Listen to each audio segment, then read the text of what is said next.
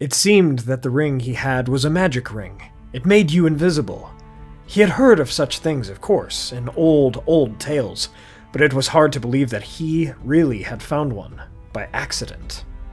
Hey everyone, Yoystan here, and I hope you all are doing well, wherever you are in Middle Earth.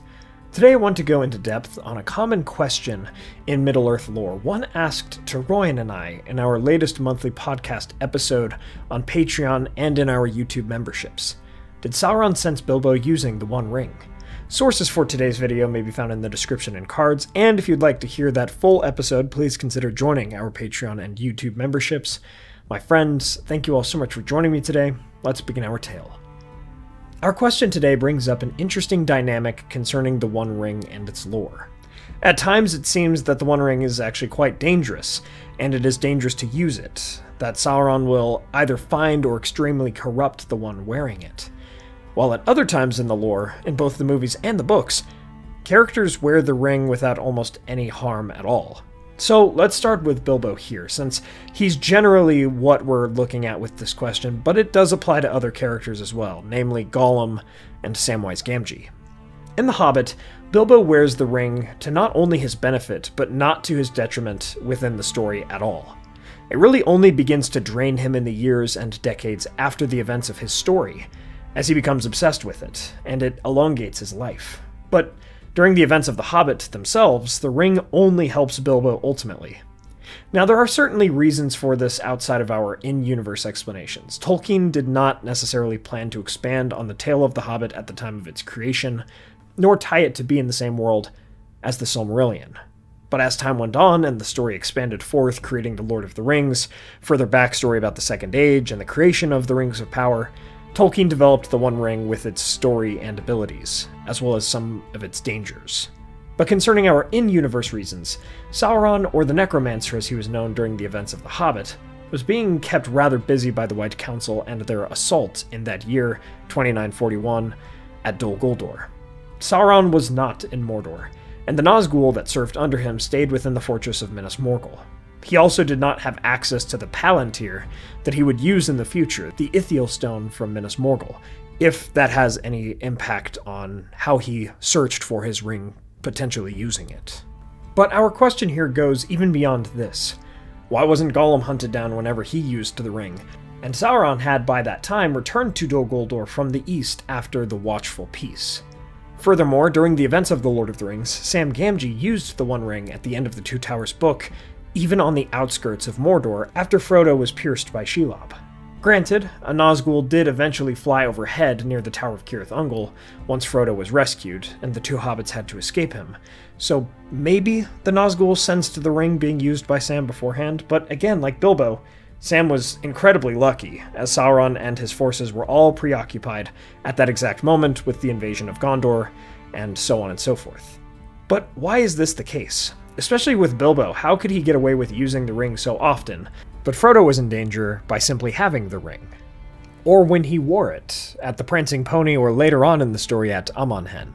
I think there are many answers, but answers that only account for parts and pieces of this. No holistically satisfying one answer for this question.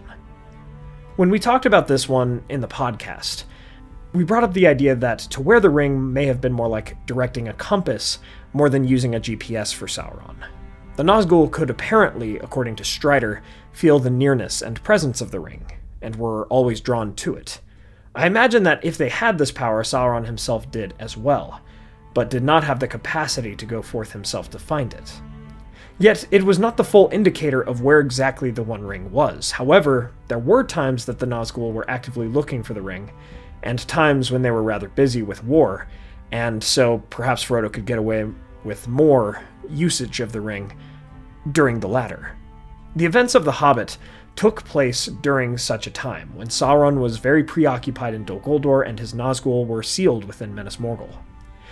While I personally believe that they could sense the ring when it was being used, they did not have the power or really capability at that time to go forth and reclaim it from whoever was using it. Besides this, perhaps when the wearer knew the true power and evil of the One Ring, it could have changed how its power shone forth to others, as Gollum used it for simple stealth reasons like Bilbo did, and the ring was never taken away from him. Yet, when Frodo did, knowing its true weight and its power, perhaps that made him more prone to being found? And I do wonder if evil is drawn naturally towards the ring, or even if Sauron sends evil forces near to the direction or place where he could sense it being used. For instance, Gollum, when he had the ring near the end of his time with it, was right beneath Goblin Town. Perhaps his use of the ring was the reason for the nearness of those goblins. Maybe Sauron played some part in sending forth these goblins to live there or to move to this spot in the Misty Mountains, or even sending forth the armies at the Battle of Five Armies towards Erebor, as he could sense the use of the ring in that direction. Obviously, there are many other reasons that that battle happened, but potentially, if Sauron played a role in directing any movement of troops towards the Lonely Mountain, this could have been part of the reason why. It could simply be that Sauron's resources were stretched too thin to truly pursue the presence of the One Ring every time a character wore it. But there is a problem with this idea, though.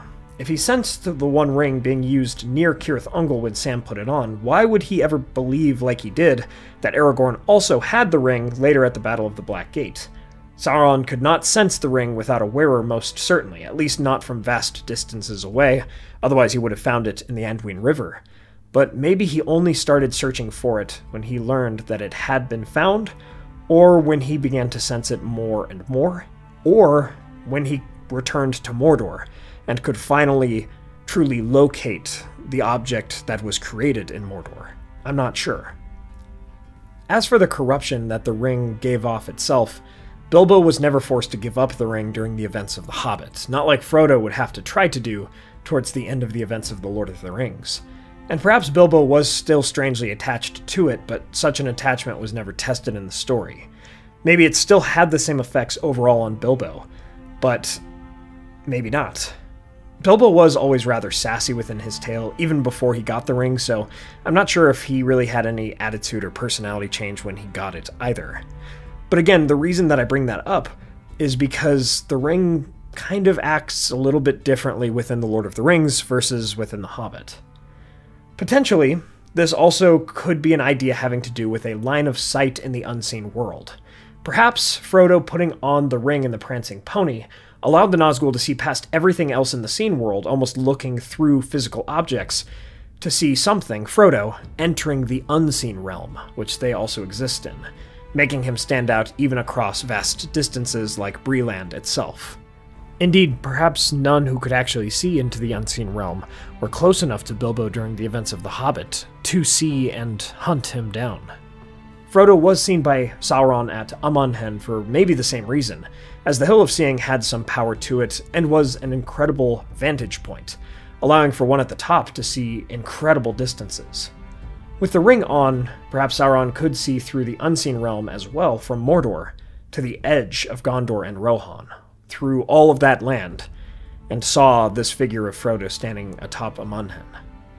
But at the end of the day, all of this could just simply be pointing to some sort of plot hole concerning the ring. But I would hope not, because Tolkien did take great care to revise small and large moments to make things more coherent and consistent, as well as connected within his lore. But what do you all think? I've tried here to present as many possible answers as I could find or come up with, but while this video might be a little bit messy for all of the many ideas and many theories, this is one of those rare topics within the Tolkien fandom that it seems almost every single person has a varying opinion of sorts on it. So I'm curious to hear your thoughts in the comments below, as there really isn't one answer to this. Again, everybody seems to come to a different conclusion about it, so I'm curious to hear those thoughts in the comments. And so, my friends, we come to the end of our tale.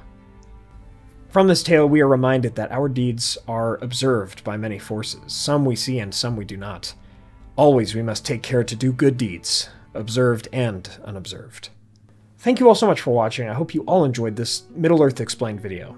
If you did, please be sure to hit that like button and share this with a friend.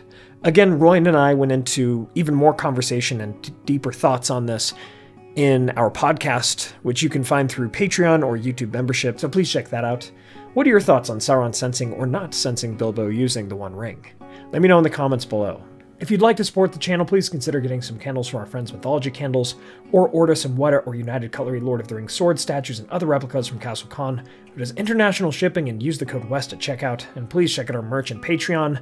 Thanks to our Valor Tier patrons and YouTube members, Peter Shepard, Merton, John Hume, Elizabeth Calvert, Maz Gibbs, Reese Jenkins, Arthur Merlin, Dale Davis, Theodore, Moon Viper, Andrew Carlisle, Zumi, and Brian Hunley. Thank you so much to all of our patrons and YouTube members, it really means a lot. Please subscribe and hit that bell button to join the Men of the West and all of the Free Peoples today. And I'll see you all again next week with a video on the Battle of Dwarves and Ents. A peculiar and interesting topic, I think.